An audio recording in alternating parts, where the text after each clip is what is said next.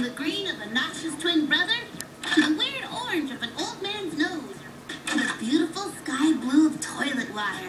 I read that one. Yes, you are, Soos. But it wasn't always this way. According to history, the world was black and white until color was invented by a magic wizard named Crandall the Fabulous. What's your favorite color, Gravity Falls?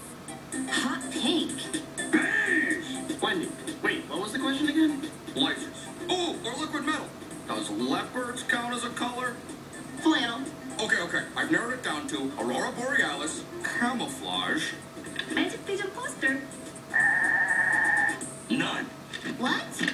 I don't have a favorite color. I don't even like colors. Not even rainbows? Beats me. I've never seen a rainbow. What? All right, guys, how can we get Grunkle Stan to see a rainbow? I need ideas, people. Sometimes if I drink expired milk, I see rainbows. I'm gonna try right now. What if we reflect the rainbow from the falls into Stan's window? Yeah. Yeah.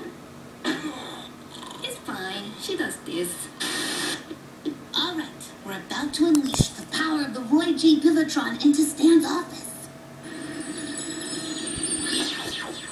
Nothing brightens a dark room like light from a window. Time to open the window.